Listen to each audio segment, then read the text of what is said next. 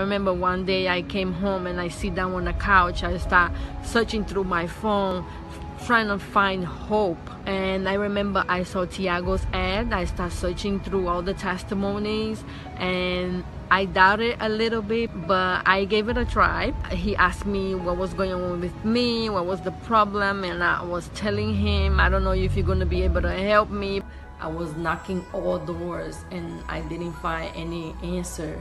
I couldn't find any solution to um, the problem I was facing. Tiago was this light at the end of the tunnel that I found. Like no doctors told me uh, that what I was doing was wrong. I just thank God that I found him because I'm not spending money on doctors. I am free of all the medicine. And after the two weeks, I started to feel much better. Like I had energy.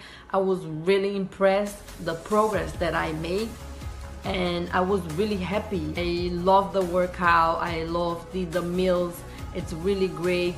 I'm loving the program. And I think that makes um, his program different from everybody else's program because of the way he treat his clients and I feel very special and I feel that I have someone that cares about my health that's always like on top of me and you're gonna be proud of yourself and you're gonna feel like great. You're gonna feel like you want everybody to join his program because you want the people around you to feel the same way as you feel. So i really recommend um, truly recommend his program because it helped me and it also can help you